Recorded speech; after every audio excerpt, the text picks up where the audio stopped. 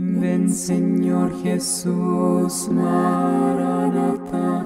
Ven Señor Jesús, Maranatha. Ven Señor Jesús, Maranatha. Si ven pronto, Maranatha. Ven Señor Jesús, Maranatha. Ven Señor Jesús, Maranatha.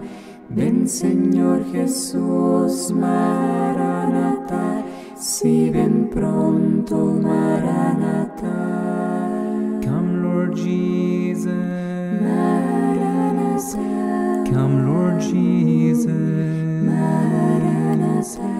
Come, Lord Jesus. Maranatha. Come, Lord Jesus. Maranatha.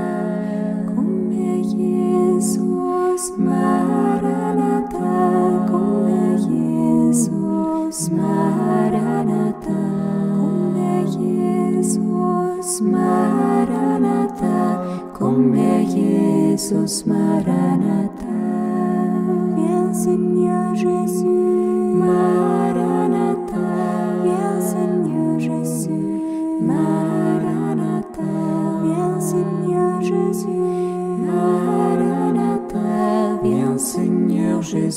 Maranatha. Vieni, Signor Gesù.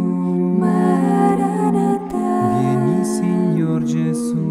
Maranatha. Vieni, Signor Gesù. Maranatha. Vieni, Signor Gesù, Maranatha.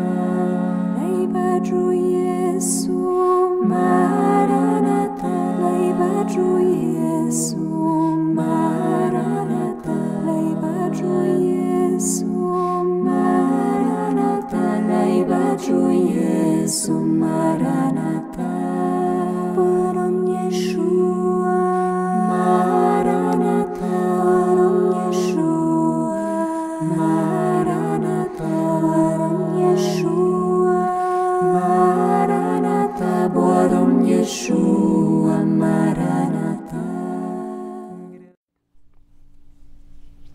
Matar nossos deuses. Em que Deus acreditar? Por José Maria Mardones. Editora Ave Maria, canal Le Conde. Caros ouvintes, caso gostem do que aqui é lido, por favor, adquiram o livro. E caso gostem do meu trabalho, venham auxiliá-lo. Qualquer mínimo centavo faz diferença. Centavos. Caso pense que alguns centavos o meu trabalho valha. É possível contribuir pelo Vaquinha, pelo Apoia-se, também por Pix. Os links estão no descritivo, junto do link também da Amazon, através do qual você pode comprar livros que chegam até mim para que sejam gravados. E caso haja algum livro que você gostaria que fosse gravado e não está na lista, peça que eu incluo para que seja comprado. Curtam, compartilhem, comentem, inscrevam-se no canal também. Tudo isso gera engajamento e faz com que haja crescimento e ampliação do trabalho e também disseminação deste conhecimento. Muito obrigada pela presença. A todos, uma boa escuta. Capítulo 9 Último capítulo A linguagem a respeito de Deus. Antes de terminar esse ensaio sobre as imagens de Deus, queremos abordar um problema que está no fundo de muitos mal-entendidos e polêmicas atuais. É o tema da linguagem a respeito de Deus. Há uma forma de entender a linguagem a respeito de Deus que conduz diretamente a um objetivismo impossível. De Deus não se pode falar como de um objeto do mundo. Não é um objeto que está aí à mão. Não é visível, palpável e, portanto, não podemos descrevê-lo. Como podemos falar de uma presença ausente, do sentido último e radical, do dinamismo de toda a realidade, do envolvente que tudo abarca, da imanência transcendente? Já se vê a linguagem paradoxal, metafórica, simbólica, analógica, que nos vemos forçados a utilizar ao nos referirmos a Deus. A realidade de Deus é uma realidade importantíssima e limite para nós. A linguagem também tende a estar de acordo com essa realidade. Como falar do não presente? Em nossa vida, lidamos com objetos que estão ao nosso lado, que utilizamos e empregamos. É o enorme mundo dos objetos físicos. Sobre eles há uma linguagem que os designa e que, ainda que não soubéssemos seu nome, poderíamos descrevê-lo em sua forma, aspecto, peso, dimensões, resistência, etc. Há inclusive um tipo de reflexão da chamada ciência sobre esses objetos de nosso mundo físico, com um enorme desenvolvimento e êxito. A ciência desenvolveu uma linguagem cada vez mais refinada para estudar e analisar cada parte desse mundo físico. É uma linguagem que se diz objetiva. Persegue a chamada objetividade ou descrição das coisas, tal como são. Trata de evitar os aspectos subjetivos ou pessoais o que lhe parece a cada um, e o substitui por um tipo de linguagem muito bem definida e demarcada, que é imparcial. É uma linguagem que descreve objetos e se refere a fatos e suas causas, que podem ser submetidos à comprovação empírica, ou não. A linguagem científica é uma linguagem concreta e até factual, refere-se a objetos, fatos e causas, de forma lógico-empírica, inequívoca e evitando todo subjetivismo. Partimos dessa breve referência à linguagem científica porque é a linguagem modelo desde o ponto de vista racional. O triunfo e a extensão da ciência foi tão grande que penetra em todos os domínios da vida. Na linguagem deixou uma profunda marca objetivista. A linguagem racional científica hoje serve como modelo, quase a que todos deveríamos aspirar e é uma linguagem objetivista. O que acontece com as coisas e os acontecimentos não físicos, nem presentes? A vida humana, contudo, não se esgota no mundo físico. Há uma série de mundos ou âmbitos que não são tão palpáveis nem descritíveis e que são reais. Existem e são importantíssimos para a vida humana. Por exemplo, o mundo que chamamos de interioridade, o mundo da vida psíquica, das vivências, dos sentimentos, dos anseios, das frustrações, dos traumas. Há uma ciência psicológica, sem dúvida. Mas aqui há modelos ou teorias não tão objetivistas, nem tão neutras como as que tratam o mundo de resistência dos materiais. Há uma psicologia que tem uma orientação objetivista, mas há também muitas outras teorias ou tendências mais psicanalíticas com uma linguagem eu, superego, isso, inconsciente, que evidentemente quer ter rigor e apontar as realidades psíquicas do ser humano, mas que tem de fazê-lo em uma linguagem muito mais metafórica, onde até mesmo a percepção, a captação, a interpretação, etc., tem muitos elementos subjetivos. Se do mundo do psíquico passamos para o mundo estético, da literatura e da arte, entramos em um mundo onde o significado, o sentido, a beleza, o impacto, as referências ao não presente, ao evocado, ao intuído, ao sugerido, cria mundos de grande importância para a nossa vida, porém ficcionais ou imaginários. A linguagem aqui já se diz simbólica, metafórica, poética.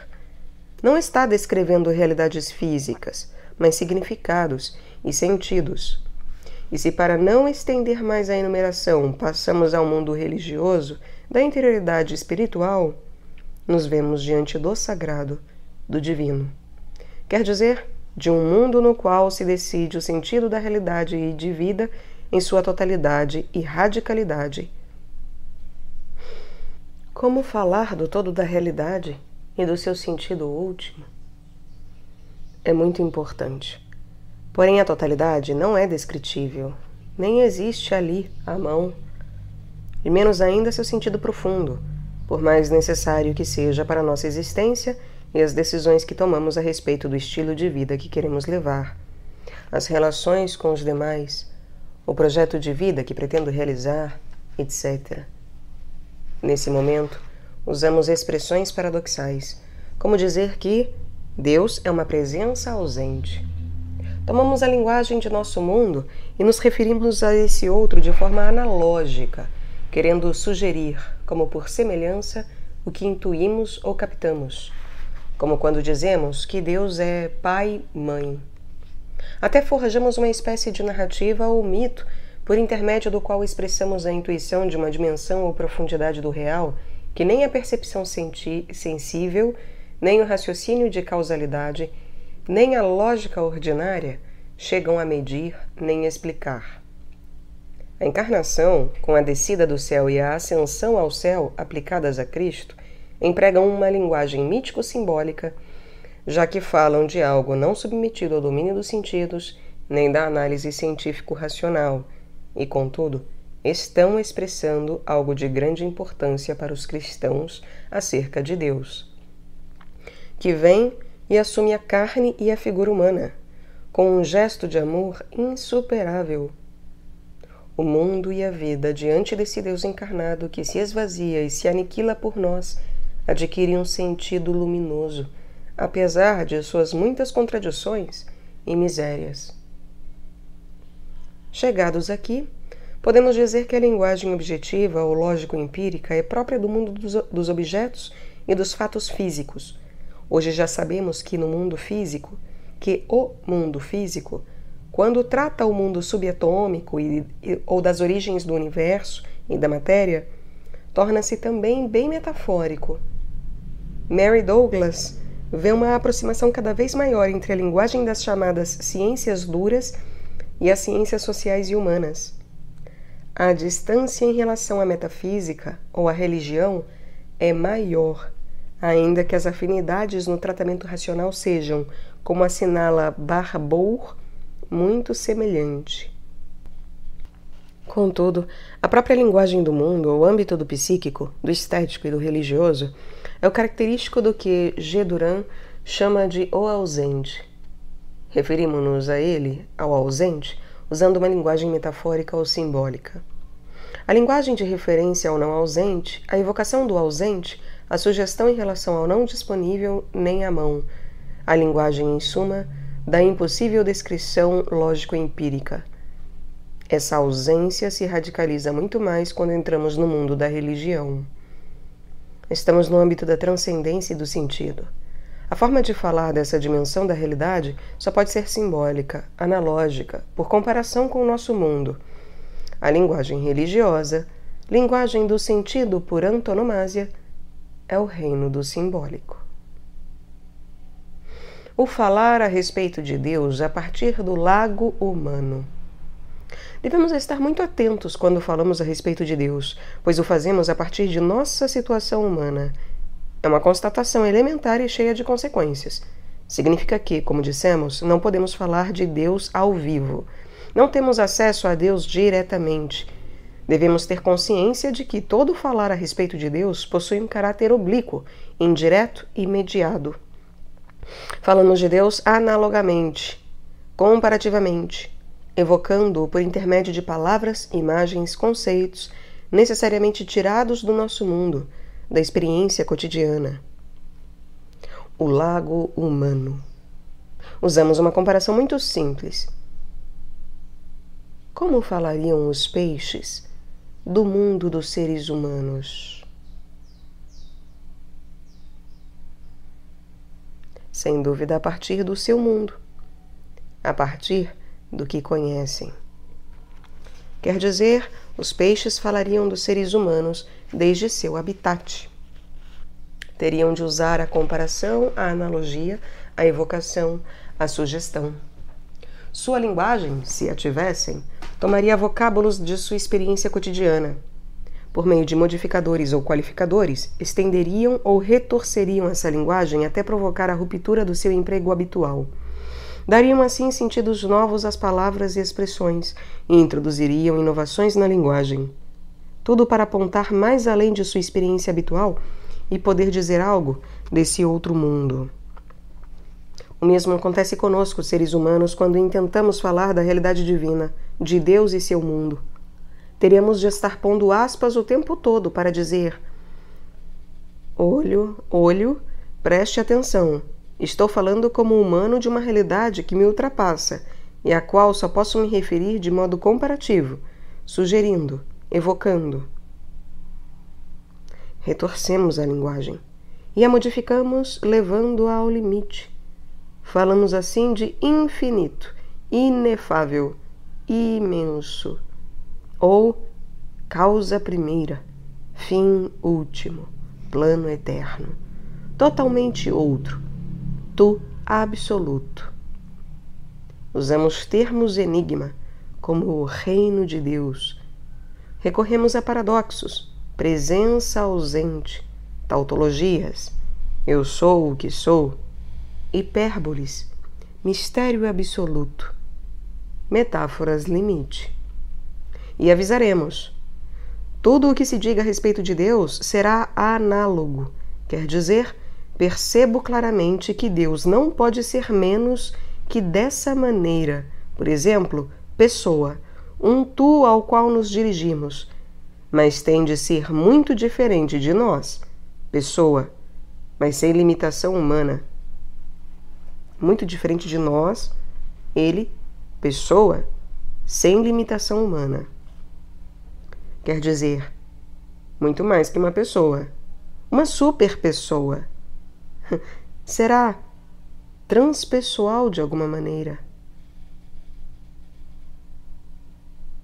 Uma super pessoa será transpessoal de alguma maneira.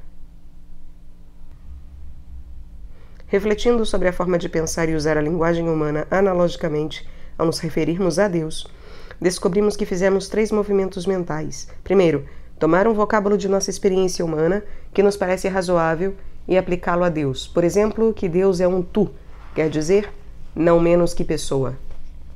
Segundo, Continuando, negar as deficiências e as limitações que tal conceito apresenta no mundo humano.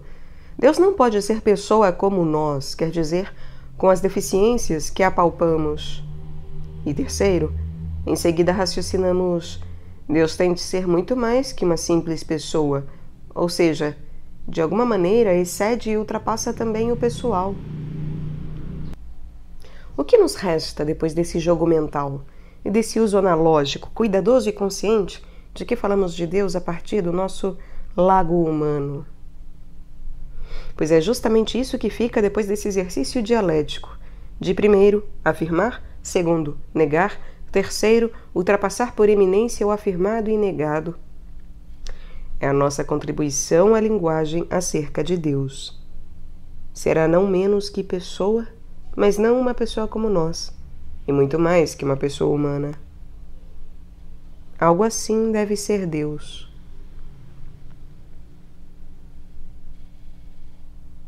Não menos que pessoa, mas não pessoa como nós. Muito mais que uma pessoa humana.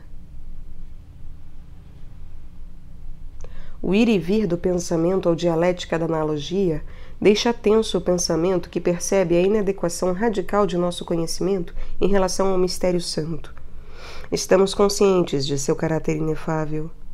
Mais que Moisés, podemos dizer sempre: faltam-nos não somente palavras, mas a palavra. O mistério de Deus sempre nos é desconhecido. Percebemos o caráter simbólico de nosso conhecimento de Deus. Só podemos evocar sugerir, jamais apreender ou captar a Deus. Esse modo de falar sobre Deus, analógico, é bem conhecido.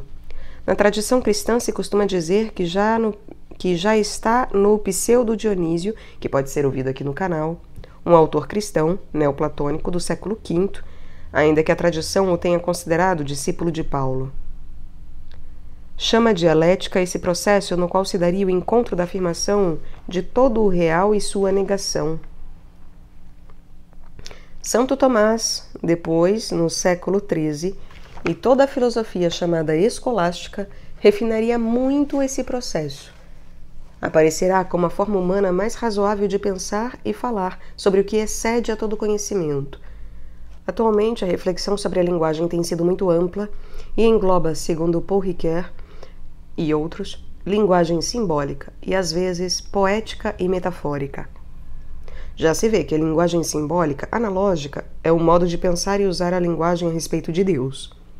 Acaba sendo uma linguagem muito cautelosa e consciente de como nós, os humanos, falamos sobre esse outro âmbito, ou mundo, chamado transcendente, onde situamos o divino, que está além desse mundo e está acima de todo conhecimento.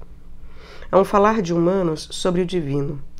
É um falar desse mundo sobre o outro totalmente diferente. É um falar consciente da distância, da desigualdade ou da diferença que nos separa. Um falar do limite. Ao falar analógico simbólico, ou falar analógico simbólico, é um falar de questões limite, como são as relacionadas a Deus, a experiência religiosa. Refere-se a expressões também limite que se situam na fronteira das experiências verbalizáveis. Quando o ser humano se refere a interrogantes acerca da origem absoluta do mundo, a totalidade das coisas, o sentido que tem a vida e o mundo em geral, estamos diante de perguntas limite. Situamo-nos na fronteira do humano. No limite do mundo e do cognoscível. A pergunta acerca de Deus, mistério absoluto, é precisamente a interrogação que toca essas questões limite. Nesses casos limite, necessitamos também de uma linguagem apropriada. Tem de ser uma linguagem consciente de que, quando falamos dessas coisas e quando estamos no mundo da religião, estamos imersos nesse tipo de questões. Teremos de fazê-lo no limite, com expressões limite para experiências limite. Costuma-se dizer também que essas questões a respeito da origem, da totalidade e do sentido da vida e da realidade, de forma radical, são perguntas últimas, metafísicas. São questões que o ser humano se propõe e que a ciência não responde. As sabedorias, as religiões e as filosofias são as que tradicionalmente enfrentaram, as, enfrentaram e responderam a essas questões, e o fizeram com uma linguagem mais narrativa que argumentativa. Usaram um relato simbólico, mito, para oferecer uma visão do mundo, desvelar uma realidade, proporcionar ou construir um mundo com sentido. A reflexão humana tem consciência, como estamos vendo, de que, diante dessas questões tão importantes e limite, a linguagem empregada não pode ser descritiva nem objetivista, mas metafórica, analógica, mítico-simbólica. Não falamos de objetos, falamos de outra coisa, finalmente, do que está acima de todo conhecimento. Assim é a nossa fala sobre Deus. A essa linguagem corresponde um tipo de racionalidade simbólica que, como disse Riquet, é uma inteligência do umbral ou do limite, obscuro e escorregadio. Inteligência que precisa de vigilância crítica e da argumentação para não cair em cristalizações idolátricas da mesma linguagem. A linguagem simbólica religiosa exige uma atitude ética, que J.L. Scanone caracteriza como a renúncia à absolutização da razão, do sentimento ou do sujeito. Atitude desprendida, pois sabe que não pode captar nem se apoderar da transcendência nem do mistério. Viver na permanente vontade de acabar com as idolizações ou idolatrizações quer dizer estar matando nossos deuses. Um saber que não sabe. Podemos encontrar um paralelismo surpreendente com outras tradições religiosas. No judaísmo está a tradição iconoclasta de não fazer imagens de Deus. No fundo, sua reticência, até mesmo de pronunciar o nome santo de Yahvé, é uma indicação de extrema transcendência de Deus. Mesmo assim, entre seus místicos, a proximidade de Deus, invocado como um tu próximo, como assinala E. Levinas, Levinas transforma-se pouco a pouco em uma relação distante com ele. Esse recurso à terceira pessoa, a elealidade de Deus, mostra um movimento de distância e negação em relação à afirmação primeira da proximidade do tu. Martin Buber é, insistirá repetidamente que o modo de falar de Deus é paradoxal. Martin Buber, Eu e Tu, pode ser ouvido aqui no canal. Porém, as grandes tradições religiosas da Ásia, de formas diferentes, nos transmitem a consciência de que estamos tentando nos debruçar no limite quando queremos abordar a questão do mistério absoluto. O budismo optará pelo silêncio. O silêncio que é consciente da presença do mistério e que, mais que expressá-lo, quer adorá-lo, vivê-lo, experimentá-lo. O caminho do Zen e da superação do raciocínio lógico para saltar para a pura intuição será o caminho proposto. O hinduísmo, além das mil denominações de Deus, que é um modo de expressar a incapacidade humana para falar adequadamente do mistério de Deus, conhece os esforços do advaitismo, não dualidade do Vedanta. A realidade última, o mistério absoluto, não se confunde conosco. Não somos um, mas tampouco é totalmente distinto de nós. Não somos dois. Finalmente teremos de dizer com Pseudo Dionísio que nosso discurso a falar a respeito de Deus é uma ignorância, agnosia, que sabe. A agnosia é um conhecimento do que está acima de todo conhecimento. Uma venerável tradição muito difundida, mas que foi muito atraiçoada, até mesmo pela teologia. O racionalismo da escolástica se esqueceu das recomendações de Santo Tomás de Aquino. Fez muitas afirmações sem a suficiente correção da negação. A mensagem da agnosia ou douta ignorância foi esquecida. Os teólogos e os catequistas a esqueceram. Esquecemos. E esquecemos que quando falamos de Deus, o fazemos como seres humanos, com linguagem humana e dentro dos estreitos limites do humano. A linguagem muito afirmativa, mas pouco cautelosa, pouco cautelosa a respeito de Deus, leva ao dogmatismo e ao fundamentalismo. Convém a todos sermos mais cuidadosos em nosso falar de Deus.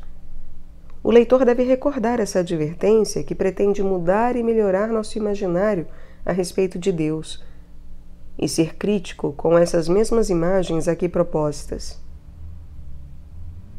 sempre serão imagens, sempre serão balbucios humanos. E a linguagem sempre foi simbólica. Não pretendeu falar cientificamente a respeito de Deus. Desta maneira, estaremos mais próximos da douta ignorância. A linguagem simbólica religiosa e suas contribuições. Quisera mostrar nesse item o que alcançamos com a linguagem simbólica. Acentuamos tanto a cautela e a sobriedade em nosso saber falar de Deus que finalmente seremos questionados: bem, então que contribuição nos oferece a linguagem simbólica? Realmente sabemos ou dizemos algo a respeito de Deus? A linguagem simbólica ilumina e desperta.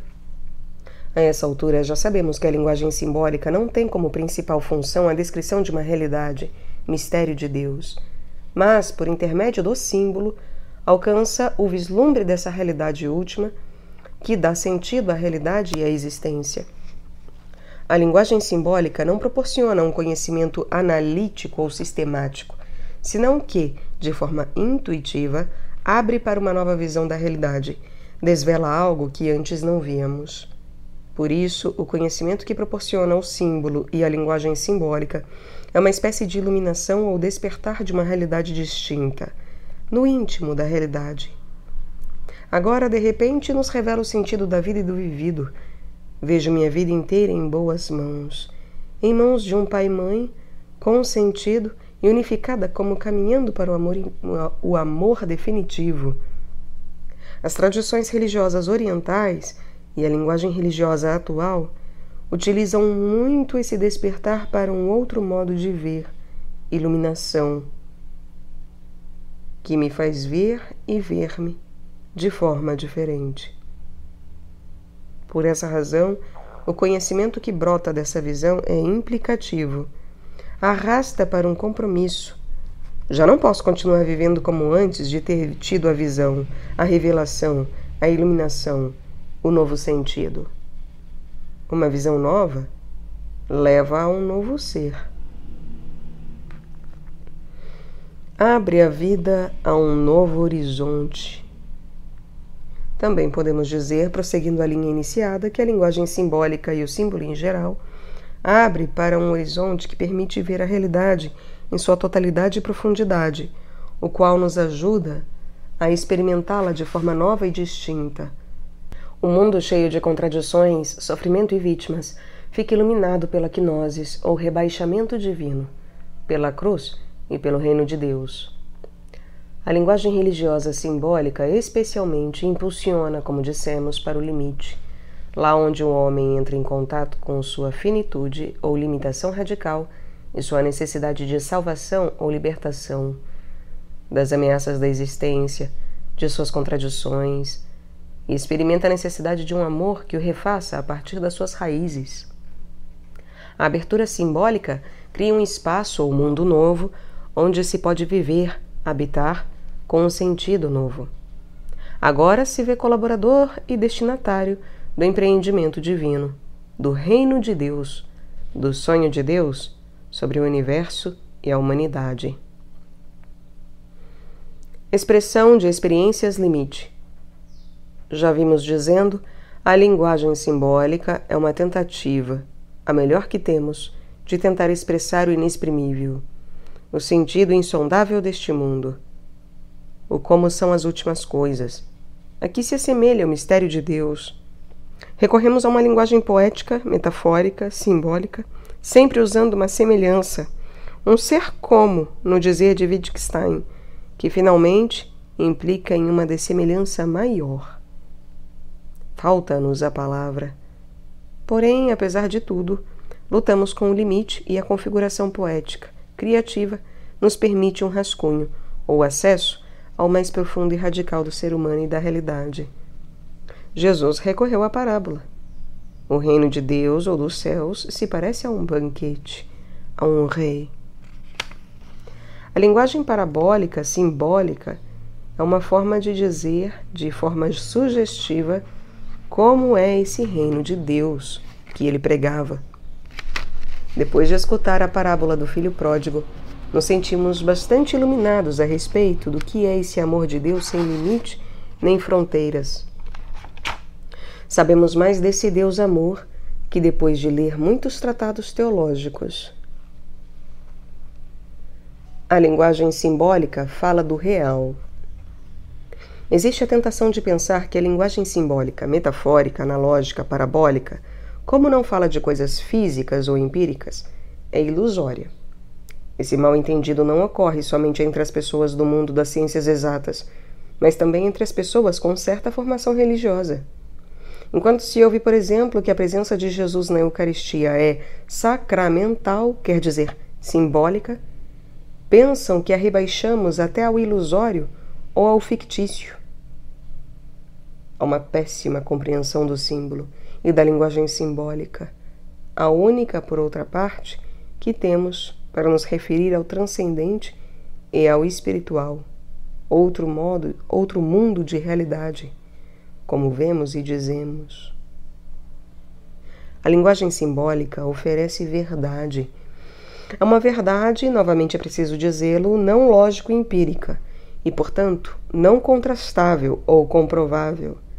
É uma verdade metafórica simbólica, de acordo com seu âmbito derradeiro e radical, mas não isenta de verdade.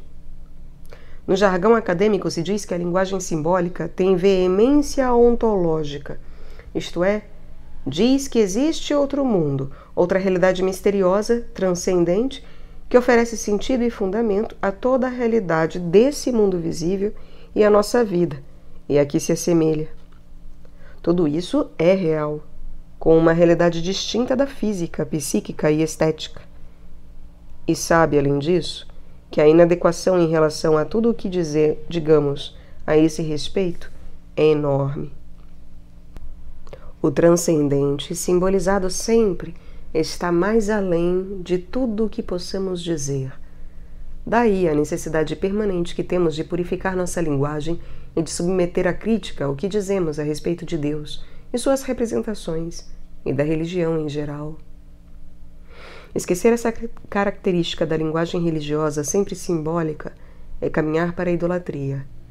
Os dogmatismos e fundamentalismos são linguagens paralisadas que, com seu afã de realismo ou objetivismo, enlouqueceram e desvairaram, petrificando a linguagem em um falso realismo ou empirismo, que não é mais que uma tentativa falida de assegurar aquilo que não pode ser seguro, expressar o inexprimível, captar o que está por nascer.